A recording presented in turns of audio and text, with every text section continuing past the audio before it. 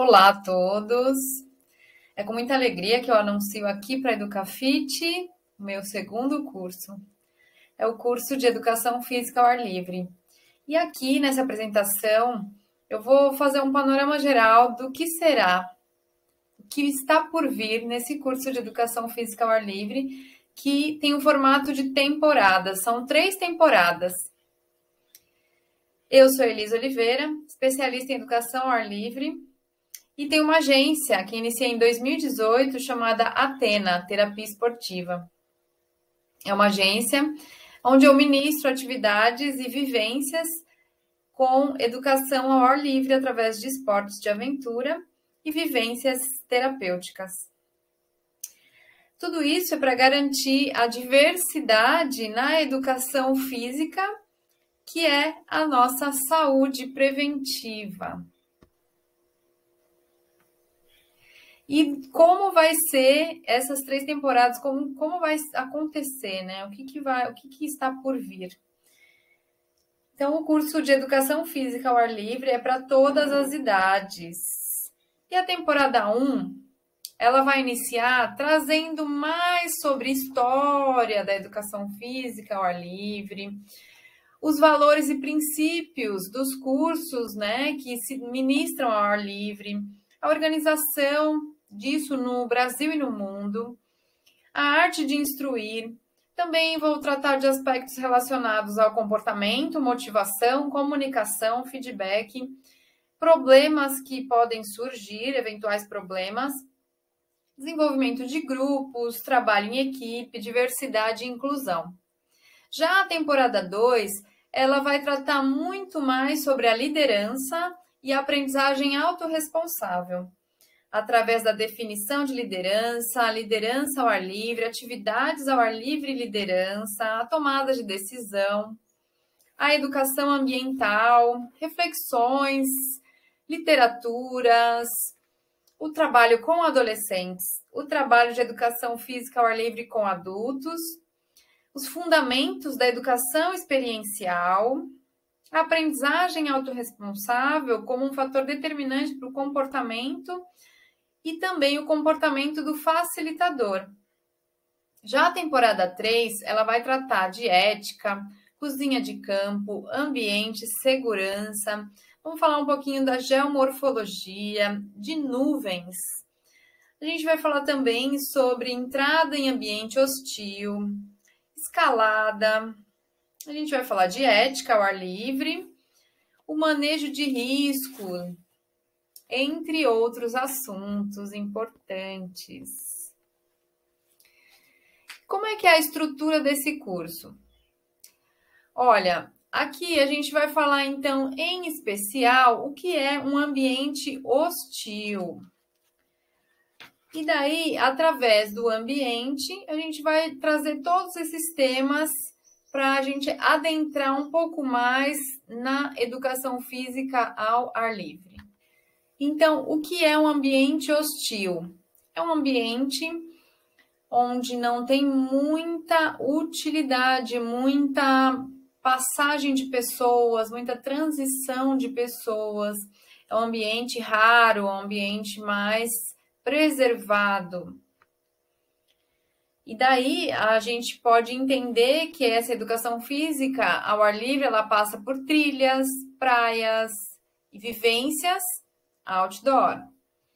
E quais os benefícios disso, né? Você ser uma pessoa organizada. Então, a organização, ela já inicia quando você faz essa, esse briefing, coloca no seu planejamento que você vai aplicar atividade de educação física ao ar livre, seja na escola, você que é professor, personal trainer, seja com grupos, e daí você entende a necessidade de organizar essa estrutura.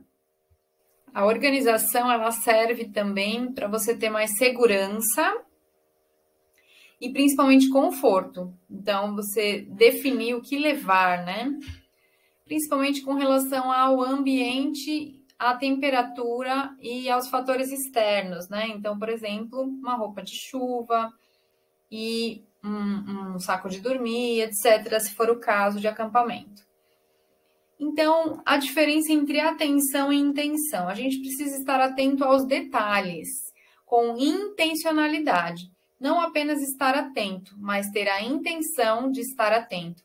Se cobrar como educador, instrutor, professor ou responsável daquele grupo, estar à frente, cobrando uma postura de responsabilidade de todos, principalmente em se tratando de adolescentes e adultos, né?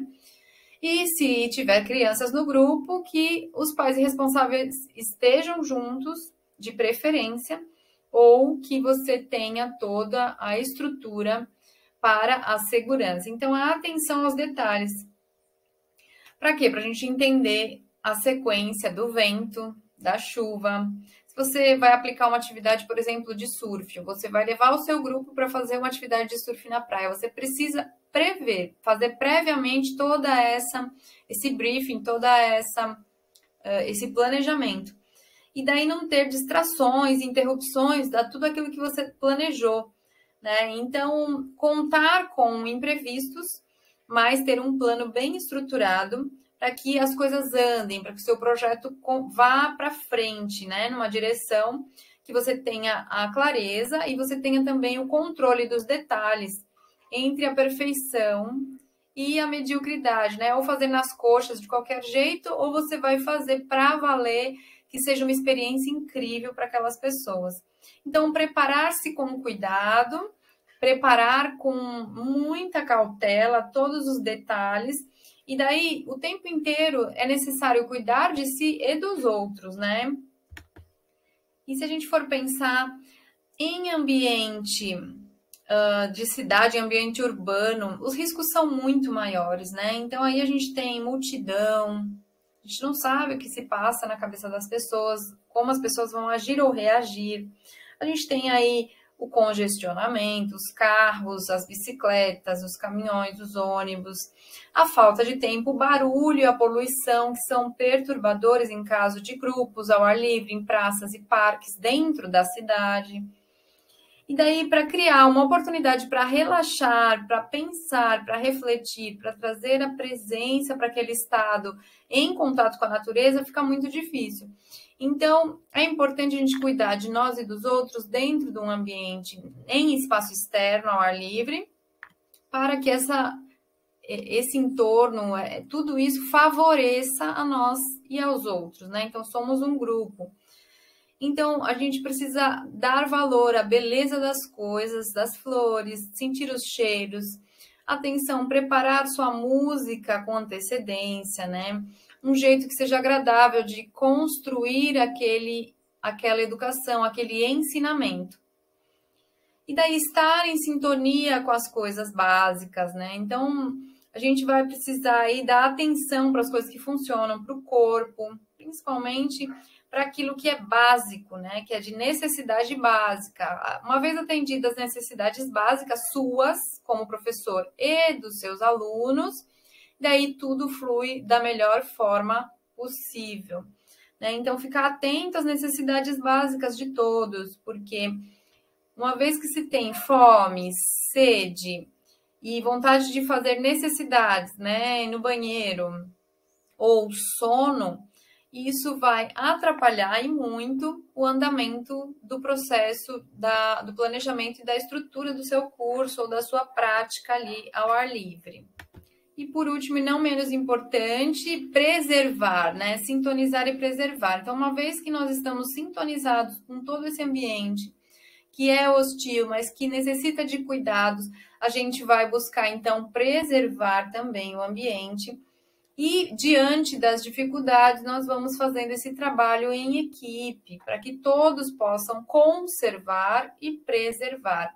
Então, deixar aquele ambiente do mesmo jeitinho que a gente encontrou, fazer um pente fino, recolher todo o lixinho, de preferência recolher o lixo que já estava no local antes, para que a gente possa voltar naquele local e ter um melhor acolhimento possível, porque é muito chato quando a gente chega num ambiente externo, numa praça, num parque, numa praia, e você já se depara com aquele lixo que vai atrapalhar a sua prática.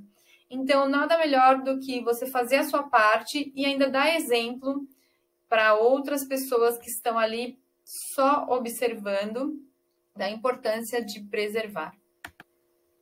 Maravilha. Então agora a gente vai falar sobre como manejar riscos, né? Ou como prevenir riscos, acidentes, problemas. O que é manejo de risco, né? Manejo de risco é justamente você aplicar uma metodologia de análise daqueles riscos. Então, se, em se tratando de educação física ao ar livre, nós estamos aqui fazendo um, uma arte educativa experiencial. Então, é uma proposta pedagógica de educação experiencial através da vivência, que é parte fundamental do programa de educação ao ar livre. Então, a gente promove aí o encorajamento, a responsabilidade individual, individual e coletiva, a segurança. Então, são necessárias prepar necessário dentro desse contexto preparar aí os alunos para lidar com as atividades dentro da atividade física proposta, aprendendo mais sobre os riscos que podem acontecer, uma chuva, uma trovoada, um, algo a mais que esteja ali no contexto. E a prudência e tomada de decisão. Então, para que nada atrapalhe a sua prática, que, como é feita essa análise pre, preliminar de riscos? Essa metodologia é muito simples e muito eficaz. Ela vai ajudar a prevenir acidentes durante a execução de uma atividade. Então, como é que acontece essa análise de riscos simples?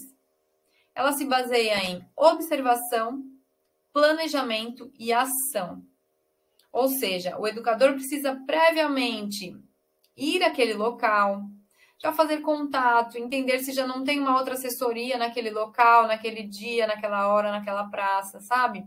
Fazer toda uma observação de quem, quem está ao redor, quais são os possíveis riscos, e daí você lista todos num brainstorm e você vai eliminando um por um, através do seu planejamento e através da ação ali no dia da prática com os seus alunos, né?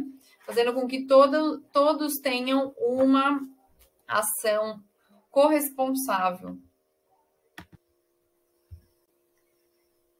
Educação ambiental. A educação ambiental é a ação da transformação somada à ética e moral dos seres vivos. Faltou um S ali.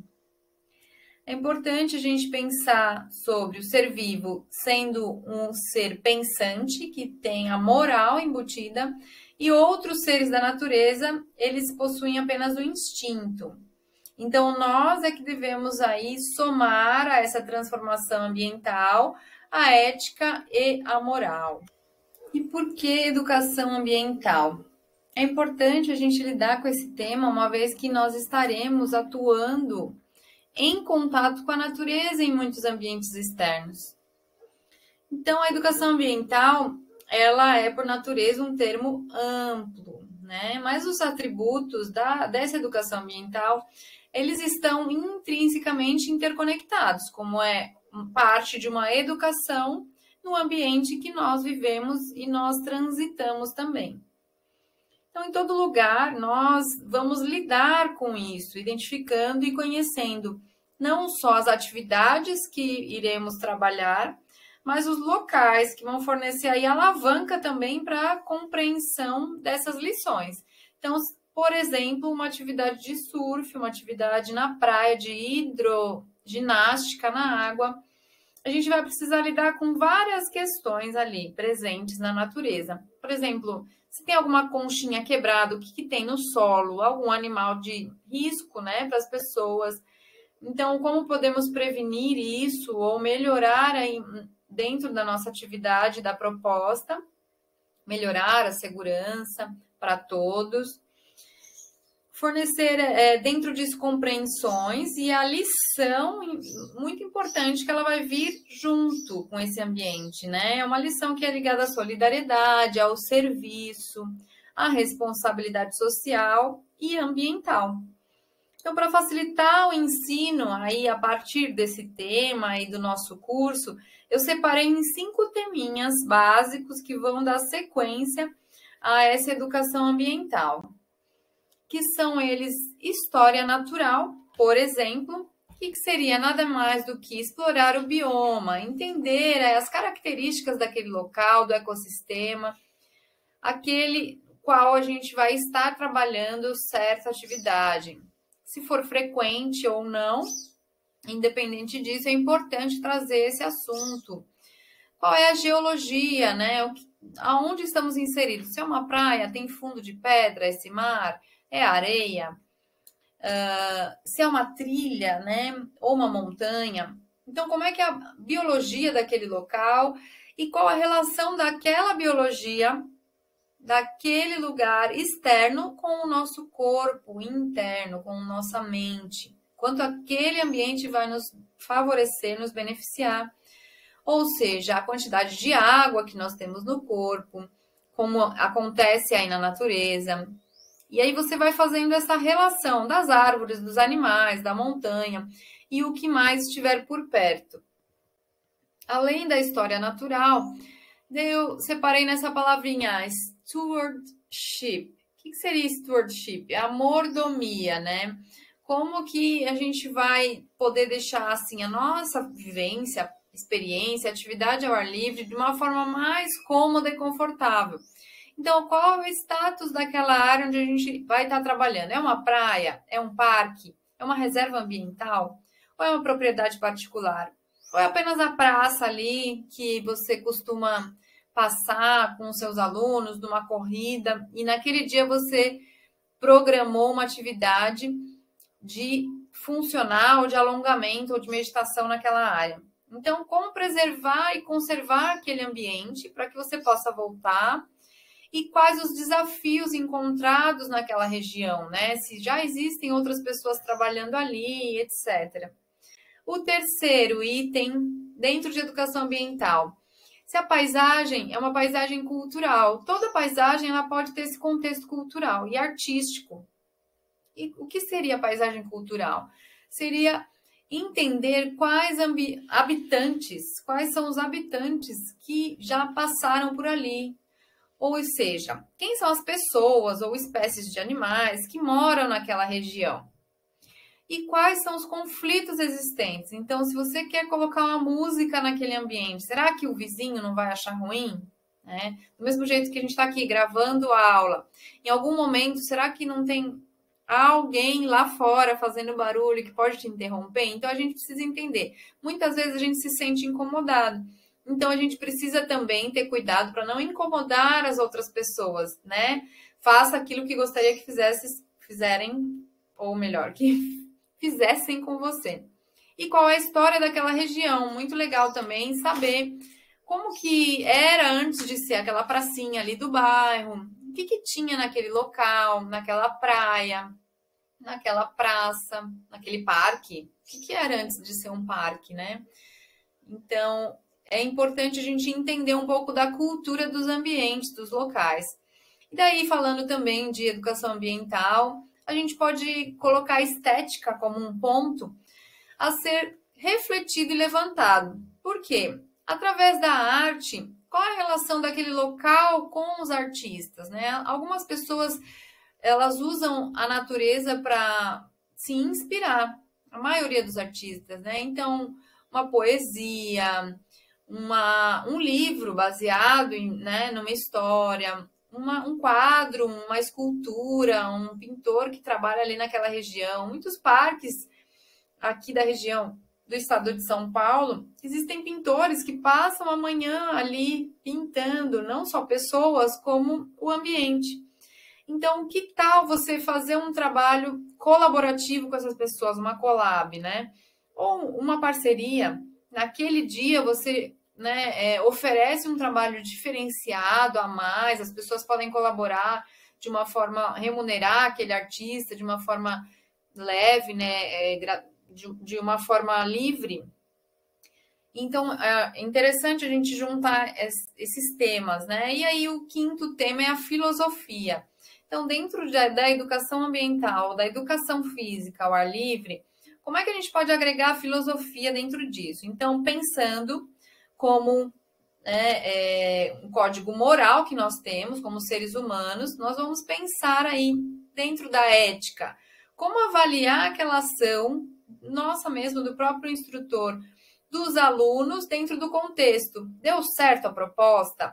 Eles ficaram muito dispersos, a aula, hum, o planejamento não deu certo, por quê, né? Então aí você vai filosofar, faz uma roda de conversa com eles no final e relaciona dentro do que você propôs, dentro da atividade proposta, se aquele ambiente sugerido foi adequado, né? Foi um ambiente legal, foi ideal. E daí, para encerrar essa abertura do curso, né, que vão ter aí três temporadas, eu digo que o que é, né? O que é esse trabalho de educação física ao ar livre? Ele vem da diversidade, de entender que a saúde, a educação física se trata de saúde preventiva e saúde integral. Então, é uma proposta que vai levar a educação física para ambientes externos, sem deixar perder de vista, sem deixar de lado a saúde preventiva e integrativa. E como? Como isso se dá? Aí a inclusão responde, né? Como? Com as suas iniciativas. Então, com um professor, um educador, um instrutor criativo, dinâmico, baseado nos seus conhecimentos, o que, que você vai poder levar para eles ali naquele dia, qual atitude você vai tomar, quais as responsabilidades de todos e sem sombra de dúvida, o mais importante, como tratar a segurança de todos, principalmente se tratando de centros urbanos, em locais urbanos, onde a segurança ela e também lugares hostis, onde a segurança ela precisa favorecer todo o contexto da aula e da prática. Então encerro aqui essa abertura, essa introdução do curso Educação Física ao ar livre.